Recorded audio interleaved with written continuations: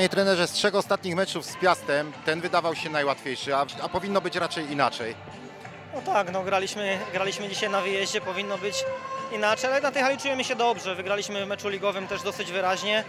Yy, No dzisiaj byliśmy nastawieni na, na trudny mecz. yy, No i a, a, a, udało się gdzieś tam łatwo wygrać 7-2, choć przeciwnik też miał parę dobrych momentów. Trzeba było być skoncentrowanym, więc, więc tutaj był klucz do zwycięstwa. No, grać, grać swoje to, co potrafimy najlepiej, nie dać rozwinąć skrzydeł przeciwnikowi.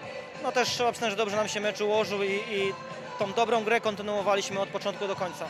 No właśnie to, o czym Pan wspomniał, sądzi Pan, że to, że tak bardzo szybko wpadły e, te pierwsze bramki dla nas w tym spotkaniu, to było w jakimś stopniu e, pomocne, decydujące?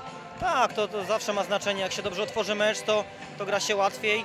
Yy, taki był cel. No, na pewno nie chcieliśmy na początku stracić przede wszystkim bramki. Na to żeśmy się nastawiali, że musimy pograć bardzo dobrze w obronie.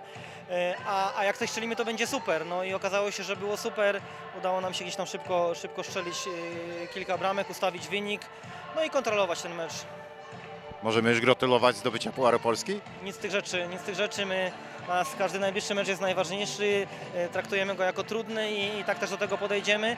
Na pewno zaliczka jest e, świetna. Na wyjeździe strzelić 7 bramek, stracić tylko dwie to jest e, na terenie Piasta, gdzie, gdzie w tym roku Piast się dobrze prezentuje, to na pewno jest, jest wielkim osiągnięciem.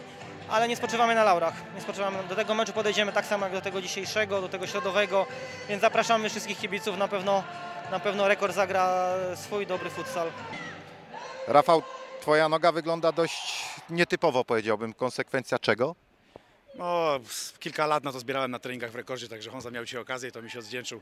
A tak naprawdę no, przypadkowa sytuacja, ale trochę zabolało. Mam nadzieję, że będzie ok. Powiedz mi, e, czy losy Pucharu Polski są już w tym sezonie rozstrzygnięte, Twoim zdaniem? Ciężko mi na to pytanie odpowiedzieć. Z wyniku wygląda na to, że będzie bardzo ciężko i, i musielibyśmy zagrać na naprawdę bardzo wysokim poziomie, e, a rekord na trochę słabszej koncentracji, co oczywiście jest w sporcie możliwe.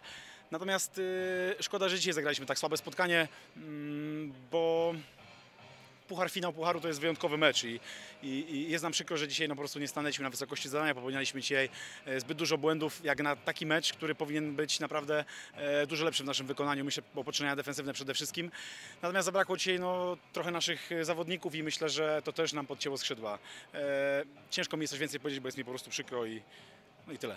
No właśnie nietypowa sytuacja, bo wydaje się, że lepiej Wam idzie z rekordem jednak w Bielsku przy startowej niż tutaj, bo i ligowy mecz rozegrany tutaj i to dzisiejsze spotkanie e, kończy się wysoką Waszą porażką, a w Bielsku stawiacie opór. Znaczy, ja powiem tak, e, rekord to jest e, klasowy zespół. Na tą drużynę się bardzo przyjemnie patrzy. Ona gra futsal naprawdę na najwyższym poziomie e, polskim na pewno i myślę, że jest drużyną, która naprawdę może powalczyć i w Europie. My na ten status będziemy pracować. Teraz pracowaliśmy, będziemy pracowali pewnie w przyszłym sezonie. Będzie pracował Piast Gliwice i mam nadzieję, że za niedługo będzie więcej takich dużych w Polsce jak rekord, które będą rywalizowały na tym poziomie, bo to będzie lepsze dla całego polskiego futsalu. My natomiast dzisiaj, no widać, że jeszcze nie mamy argumentów ku temu, żeby, żeby ten rekord pokonać. E, Zobaczymy, co będzie za kilka dni.